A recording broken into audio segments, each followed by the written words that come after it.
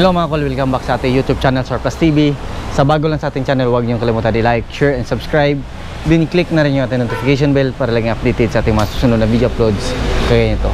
Ngayon mga kol, pakita natin yung ating Suzuki Everyban DE17V 4x2 Tiptronic RO6A engine 660cc 49 horsepower VVT engine. So check natin din, tapusin natin yung video para malaman natin kung magkano ang presyo sa ganitong setup. So yan.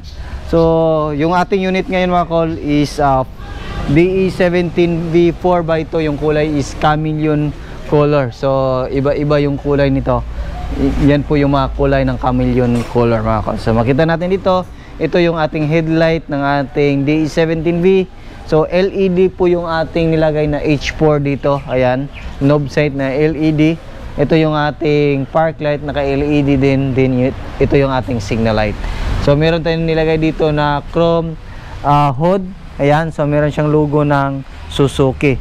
So makita din natin dito sa ating bumper mga kol, meron tayong customized na ah, fog lamp. Ayan, so kinopya natin yung fog lamp ng mga DE 17W. So yan meron din tayong body kit dito or chin. Ayan. So ito yung design na napili ng ating customer. Ayan, napakaganda po niya mga kol lalo na sa personal. Ayan. So dito makita natin fully tinted po yung ating unit. Ayan. So ito yung ating wiper. Original seat up po yung wiper natin. Hindi natin yan kino-convert kasi para yung tibay ng ating mga linkage is nandun pa rin. So, kung halimbawa masisira yung mga linkage natin, pag bibili tayo ng mga surplus na linkage, madali lang po. Hindi na tayo maghanap ng magko-convert pa ng ating linkage. Ayan, so dito sa gilid makita natin meron tayong customized na fender. Ayan, so naka-bolt po siya ng stainless. So, separate po siya mga kol para if ever may mga problema dito sa bumper pagtatanggalin natin hindi na po madadamay yung dito sa fender at saka dito sa ating door ayan so makita natin dito meron tayong 13 inches brand new mag wheels and brand new tire yung ating gulong is 175 by 65 R13 so ayan stock lang po yan mga kol so hindi po siya nakalifted semi outer po yan mga kol para bagay po pag nilagyan natin ng fender. Ayan, so dito naman makita natin yung ating side mirror is auto fold din yan. Basta itong mga design auto fold at saka retractable side mirror. So kompleto siya sa antenna. Ayan, so dito makita natin meron tayong mga visor. Ayan, original po yung mga rain visor natin. So ito yung mga handle ng ating D17B mga kol. Original po yan. Ayan, so kinulayan natin lahat ah, ng chameleon color. So, yan dito rin makita natin yung ating gas tank opener. Ayan, para isa lang. Yan. So, ilain natin dito. Ayan, mag-open po itong gas tank opener natin. Ayan, so dito naman tayo. Ayan, so dito sliding po ito. Manual lang po siya mga kol, hindi po siya power slide. Hindi katulad ng mga DE64W na meron siyang power slide, merong variant na power slide, meron single power slide, meron double power slide. Pag DE17V, basta V variant mga kol, is wala pong power slide. So manual sliding lang po yan sila mga kol. Ayan.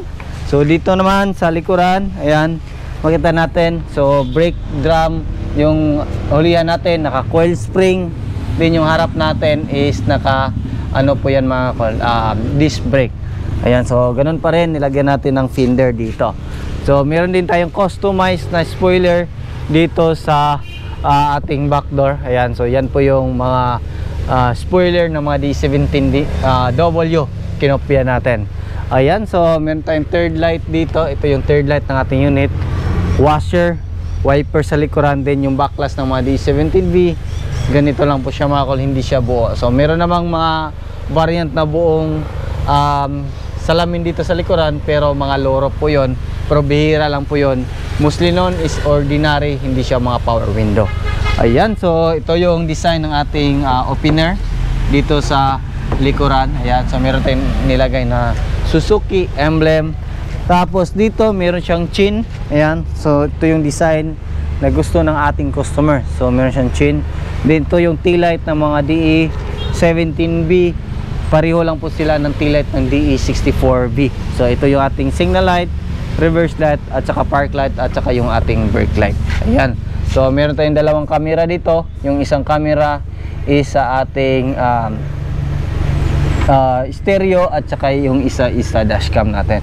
So nilagyan din natin ng plate holder para hindi mabend po yung plaka ng ating uh, sasakyan. So check natin dito sa uh, likuran. So yan makita natin dito yung ating uh, likuran is nilagyan natin ng third seat based sa request ng ating customer. So yan. So, at the same time, pwede natin to gawing storage box. Ayan po, napakalaki pa ng space pag upo tayo dito. Kasya po yung dalawa dito mga kol. Ayan, so depende po sa laki. Ayan, so at the same time, pwede natin yan gawing storage box. Ayan po yung ating storage box. Din dito, brand new na po yung ating mating. So, check naman natin dun sa harap, second row. Check natin dito mga kol. Ayan, so dito, basta mga captain seat na unit mga call is meron siyang plastic dito ayan makita natin dito yung ating jack at saka yung ating tie wrench. Ayan. So balik natin dito. Ayan. So ito yung captain seat ng mga DE 17V ayan. So meron siyang armrest. Ayan. So makita natin dito meron siyang uh, cup holder dito sa gilid. Ayan po yung kanyang cup holder. Left and right po yan mga kol. Basta mga captain seat meron siyang cup holder dito sa kanyang sliding door. So meron din siyang armrest yan so ito yung uh, upuan natin. Kompleto siya sa seat belt. So dalawa po yung upuan pero kasya po yung tatlo. Depende sa laki i-unfold lang natin yung ating uh, armrest. Ayan so yung kagandahan din sa mga minivan mga call na ganito is uh, ma ano po ma-fold yung ating upuan. So pakita natin. Ayan so sa hindi pa nakakita lang ganito at least makita nyo. Ayan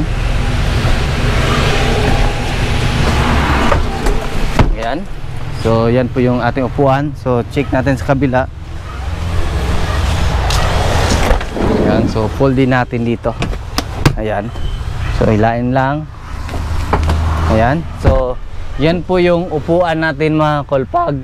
Naka fold yan, so medyo angat siya konti dito pero pwede natin tong gawing mini camper van. Ito yung pinaka the best sa mga mini camper van kasi malaki yung space compare sa DE64. Medyo mahaba, malapad yung ganitong unit, yung mga DE17V. Ayan, so check natin yung ating uh, front. Ayan. Ayan, balik natin. Dito naman tayo. So makikita natin dito yung ating main power window switch ayan so ito yung sa rear ito yung sa ating um, harap din ito yung sa uh, ating auto fold ng side mirror din retract. So subukan natin. So yan. So turn on natin yung susi natin. So isarado natin yung ating sliding door para makita natin kung nag-function ba siya. Yan. So baba.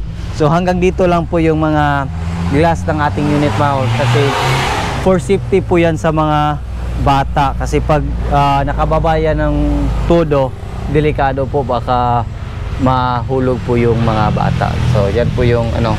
So try natin dito sa harap. Ayan function naman. Ayan. So taas. Ayan dito. Ayan function lahat. Ayan. So meron siyang lagayan din dito mga call. Ayan. Then meron din siyang cup holder dito. So dito naman sa ating dashboard, so makita natin dito, ito yung ating steering wheel, original Japan. Then meron siyang cup holder dito, left and right po yung kanyang cup holder. Then meron tayong digital temperature gauge at the same time pwede natin gawing scanner yan mga kol. Ayan, so ito yung ating uh, park light dito. Park light, headlight, ayan. So functional po yan Then, ito yung wiper natin sa kabila. Ayan. So, isa, dalawa, tatlo. So, yan po yung wiper natin. Dito naman, pwede natin to i-wipe yung rear natin. Ayan. So, mag-wiper na po yung rear natin. Pakita natin. Ayan. Pakita natin yung likuran natin na nagwa-wiper. Ayan. So, dito, pakita natin. So, ayan. Functional po lahat ng wiper natin mga kol. So, ayan. Balik tayo sa harap ng ating unit ayan so Dito rin makita natin yung ating lamp swi- ah, mga ilaw dito sa ah, harap. Ayan, makita natin. Napakaganda po yan mga call sa ilalim din. Then, meron siyang option mga call pag ah, gusto natin na blink siya. Ayan, meron tayong remote. Gusto natin ng yellow. Ayan. So, ayan, pwede din natin yan naka-blink, jump 7. Ayan, so nagbi-blink po yung ilaw natin. So, try din natin dito sa ilalim. Ayan. Ayan, so remote natin. Ayan. So, ayan po yung ilaw natin ng ating unit. So, ito yung request ng ating customer na meron mga ilaw sa ilalim. Ayan. Ayan o.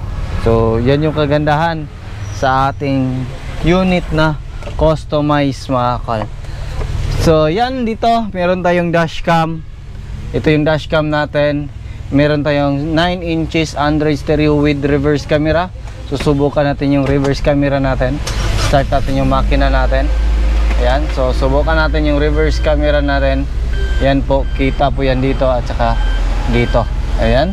So yung dashboard natin is back to original po yung ah, kulay natin mga kal. Ayan. So yan makita natin, ito yung ating seat belt, kompleto po yan. So pwede natin yan i-move forward din atras. Then handbrake na po siya mga kal. Then meron siyang lagayan dito. Ayan, so meron din siyang mga extra lagayan diyan dito at saka yung ating sa um, door pads natin meron din siyang cup holder. So check naman natin dito yung aircon natin. Ayan. Ito yung blower switch. Ayan, naka-aircon. Ayan.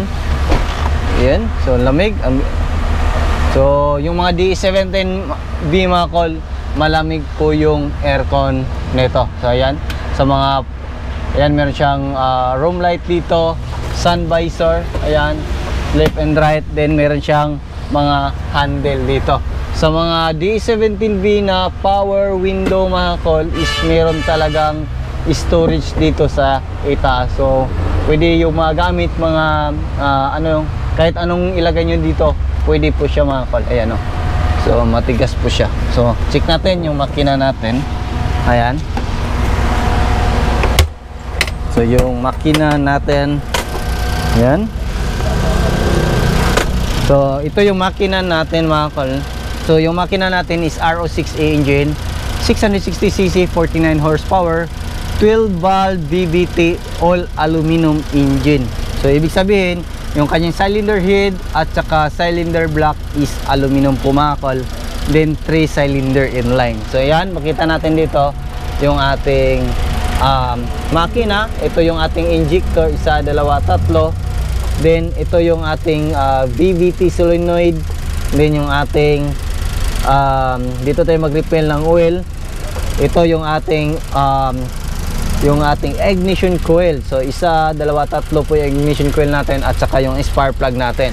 So makita din natin yung ating camshaft sensor dito mga kol. Diyan po yung camshaft sensor natin sa gilid din dalawang oxygen sensor. So check naman natin dito sa passenger side kung ano yung nandito. Ayan. So yan. So ito yung ating throttle body. So yung throttle body natin is ah, fully electronic mga kol. So wala po siyang ah, wala siyang cable. So yan, ito yung alternator natin. Aircon compressor, air filter housing, main fuse box, then yung ating ah, ECU na nasa gilid ng ating ah, unit or air filter. So check natin yung hood natin kung ano yung nandun. Ayan.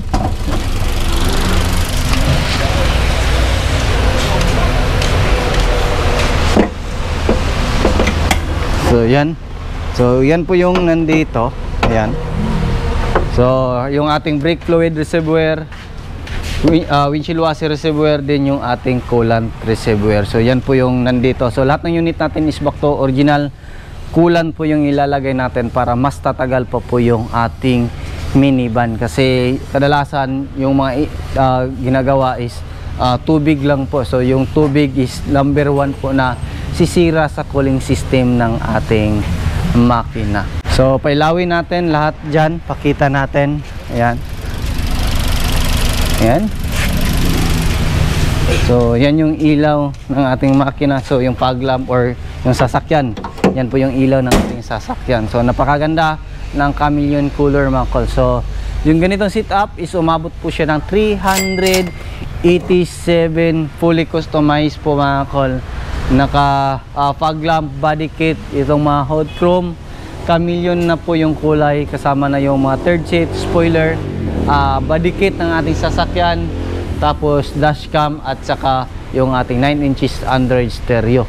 So yan po yung package sa ating tag ah, 387 na DE17V 4x2 na minivan.